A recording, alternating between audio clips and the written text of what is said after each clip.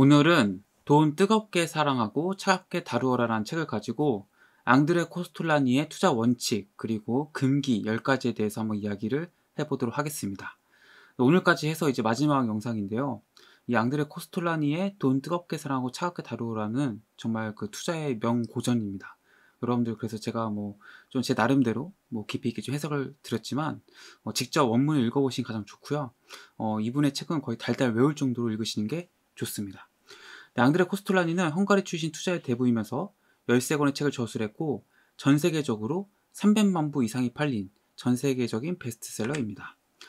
네, 많은 독자들이 생각을 합니다. 이 앙드레 코스톨라니 책을 읽고 아 그러면 나도 그 증권 투자라는 것에 뛰어들어서 행운을 한번 잡아봐야 하지 않을까 이런 생각을 합니다. 그렇죠? 여러분들도 이 앙드레 코스톨라니의 책을 읽고서 아마 그런 생각이 드셨을 겁니다. 근데 어떤 학생이 자신에게 이렇게 물어봤다고 합니다. 만약 아들이 있으면은 투자자를 시킬 겁니까? 그러니까 앙드레 코스톨라니한테 물어본 거죠. 만약 당신에게 아들이 하나 있다면은 그 아들에게 투자자를 시킬 거냐라고 물은 거예요. 거기에 대해서 앙드레 코스톨라니가 이렇게 말했다고 합니다. 내게 만약 아들이 있으면 우선 첫째는 음악가를 시킬 거요. 둘째 아들은 화가. 셋째는 소설가 아니면 저널리스트. 그러나 넷째는 새 형제를 먹여 살리기 위해서 꼭 투자자를 시키겠소. 그러니까 첫째, 둘째, 셋째는 돈하고는 전혀 관련 없는 일을 뭐 시킬 거지만 이 세 명의 형제를 위해서 먹고 살기 위해서 결국 네 번째 아들한테는 투자를 시키겠다는 거죠. 결국 돈을 벌고 싶으면은 투자자를 해야 한다는 것을 얘기합니다. 나는 그 누구에게도 투자자가 되라고 권하지 않는다. 그렇다고 말리기도 어렵다. 그러니까 뭐 어떤 앙드레 코스톨라니가 누군가에게 투자자 꼭 되세요라고 이렇게 권하지도 않지만 이미 투자를 하고 있는 사람에게 아, 투자자 하지 마세요 라고 말리기도 어렵다라는 거예요. 왜냐하면 이 투자라는 게 여러분들 해보시면 다 알겠지만 누구든 한 번 투자병에 걸리면은 벗어나기가 어렵기 때문입니다. 이미 주식 투자 해보신 분이라면 다 무슨 말인지 알 거예요. 이게 뭐 아예 안 하면 안 했지 한 번이라도 해서 뭐 조금 재미를 봤다. 조금이라도 수익을 보신 분들은 정말 이 투자의 세계에서 벗어날 수가 없거든요.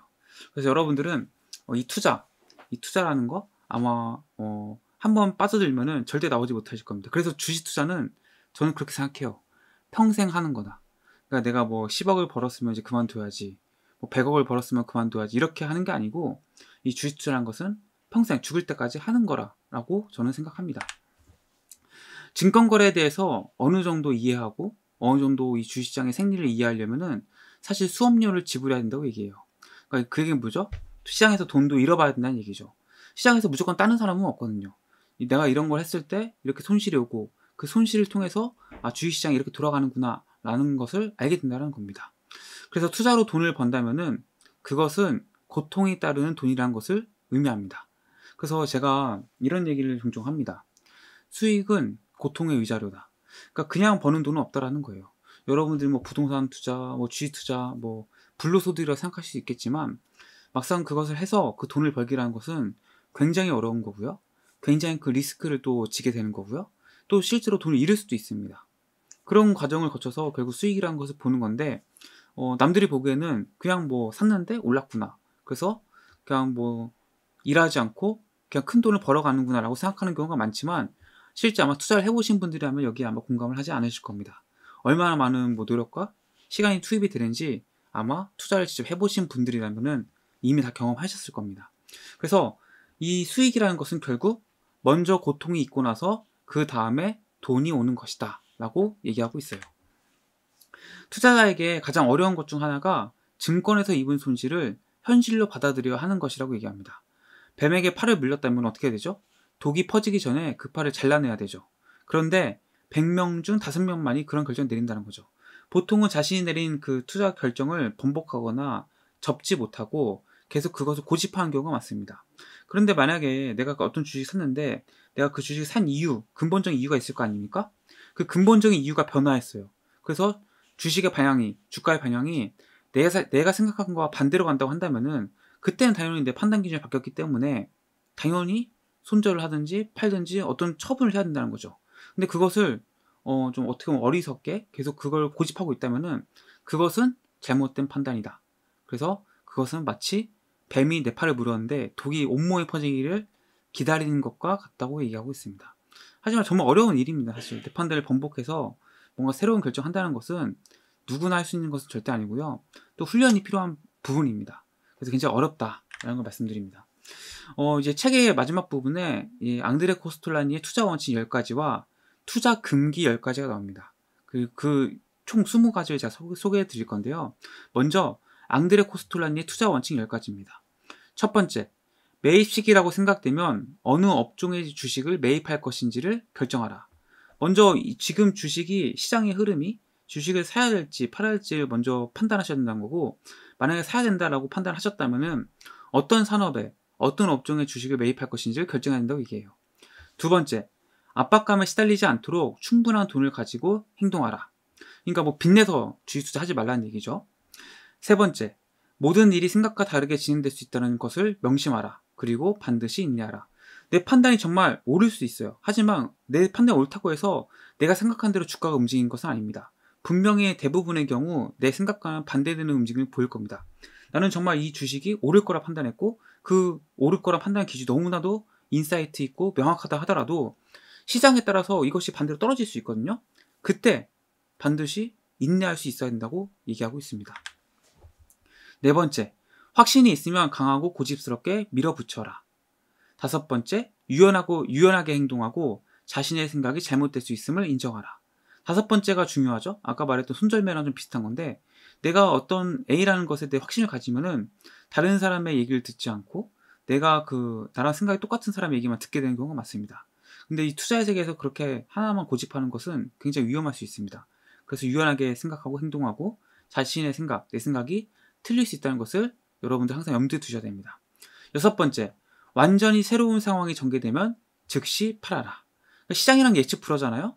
지금까지 시장이 막 좋았는데 갑자기 뭐 금리가 막 올라가요. 그 시장의 상황이 막 변하기 시작한 거잖아요. 그렇게 새로운 상황이 전개되면은 즉시 팔아야 된다. 일곱 번째, 때때로 자신이 보유한 종목의 리스트를 보고 지금이라도 역시 샀을 것인지를 검토하라. 과거에 내가 보유한 종목들, 내가 지금 조, 내가 지금 갖고 있는 종목들을 쭉 보시는 거예요. 그래서 과거의 종목들을 보시면서는 내 판에 맞았는지를 한번 보시는 거고 지금 보유한 종목들을 보시고는 지금이라도 내가 이 종목을 계속 살까? 이것을 고민해 보시라는 거죠. 만약에 그때는 샀는데 지금 내가 갖고 있는 종목을 그때는 사는 게 맞았지만 지금은 만약에 사는 게 아닌 것 같다. 지금이라면 안 살 것 같다라고 하시면은 그 잘못된 판단이라는 거죠. 그것은 그럼 내가 파는 것도 한번 고려를 해봐야 된다는 얘기입니다. 여덟 번째, 대단한 가능성을 예견할 수 있을 경우에만 사라. 정말 이거 엄청난 확신 아니면 안 되겠죠? 어, 이건 정말 될 수밖에 없어. 이게 엄청난 잠재 능력이 있어. 잠재 가능성이 있어. 이런 예, 가능성을 예견할 수 있을 경우에만 사야 됩니다. 아홉 번째, 계속해서 예측할 수 없는 위험 역시 항상 염두에 둬라. 우리가 경제라는 건 생물이라고 얘기하죠. 그래서 항상 예측할 수 없는 위험들이 항상 도사리고 있습니다. 그게 어떻게 보면 자연스러운 거예요. 주식시장 당국. 그래서 그런 예측할 수 없는 위험이 항상 나타날 수 있다는 것을 염두에 두어야 한다. 열 번째, 자신의 주장이 옳더라도 겸손하라. 그 주식시장에서 가장 위험한 것이 결국 자만이죠, 자만. 그래서 여러분들 항상 자만하지 말고 겸손한 상태로 내가 시장을 이길 수 있다는 생각이 말고 내가 시장을 따라가야 한다. 시장은 항상 변화할 수 있다. 항상 겸손한 자세로 이 주식 투자를 해야 됩니다. 어, 다음은 이제 앙드레 코스톨라니의 투자 금기 10가지입니다.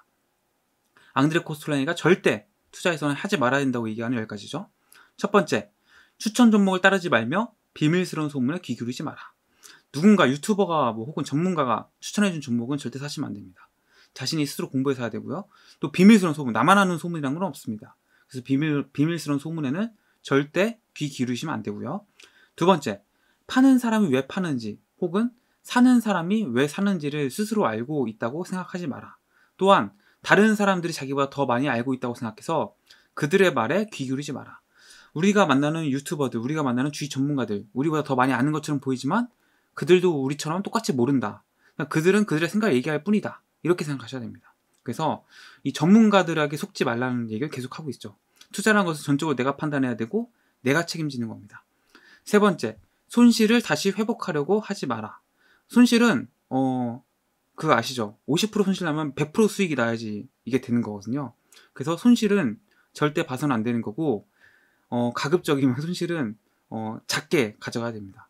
길게 가지고 계셔서 마이너스 50% 손실 났다 그러면은 그 주식이 다시 두 배가 돼야지만 내가 본전이 되는 거거든요. 그래서 굉장히 어렵다. 네 번째, 지난 시세에 연연하지 마라.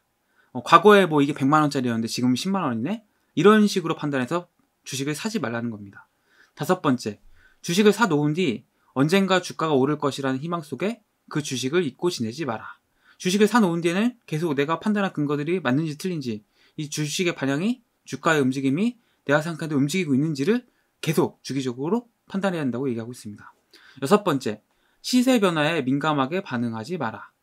시세 뭐 오늘 100원 올랐다고 좋아하지 말고 내일 1000원 떨어졌다고 슬퍼하지 말라는 얘기죠.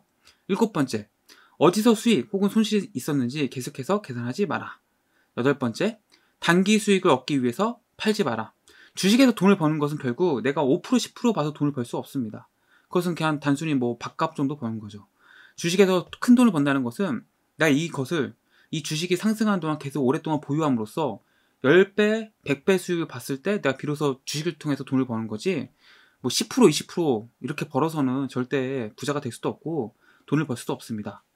아홉 번째, 정치적 성향, 즉 지지나 반대에 의해 심리적 영향을 받지 마라. 열 번째, 이익을 보았다고 해서 교만하지 마라. 열 번째도 마찬가지죠. 절대 자만하지 말라는 아까의 조언과 똑같습니다. 네, 그래서 오늘까지 해서 앙드레 코스톨라니의 돈 뜨겁게 사랑하고 차갑게 다루어라라는 책을 가지고 이야기를 해봤습니다. 어, 이 책을 꼭 읽어보셨으면 전 좋겠고 이 책을 외우실 정도 읽으시면 아마 투자에 많은 insight가 생기지 않을까 그런 생각을 해봅니다. 오랜 시간 동안 저와 함께 돈 뜨겁게 사랑하고 차갑게 다루어라를 함께 공부해 주셔서 감사하고요. 저는 다음에 더 좋은 책을 찾아뵙도록 하겠습니다. 고맙습니다.